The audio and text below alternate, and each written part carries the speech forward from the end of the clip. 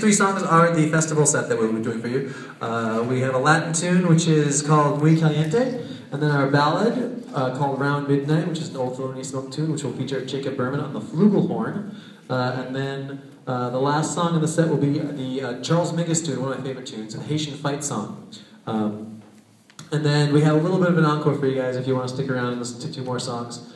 Uh, so, so someone said yes. Okay, you're doing it. Um, all right. So here's Muy Caliente.